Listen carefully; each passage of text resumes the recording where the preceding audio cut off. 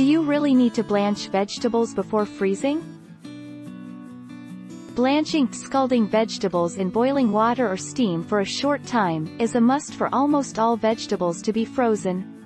It stops enzyme actions which can cause loss of flavor, color and texture. Blanching cleanses the surface of dirt and organisms, brightens the color and helps retard loss of vitamins.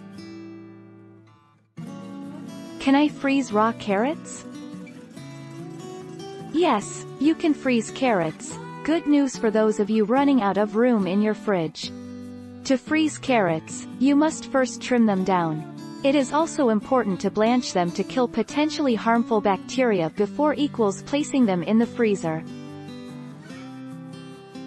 What happens if you freeze vegetables without blanching?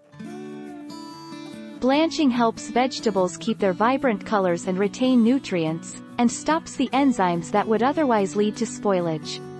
Freezing vegetables without blanching them first results in faded or dulled coloring, as well as off flavors and textures. How many minutes do you blanch vegetables? Keep tasting every 30 to 60 seconds until the vegetables are cooked to your liking. Most vegetables take between 2 to 5 minutes. When the vegetables are done, quickly remove them from the boiling water with a slotted spoon and plunge them into the ice bath to stop the cooking process.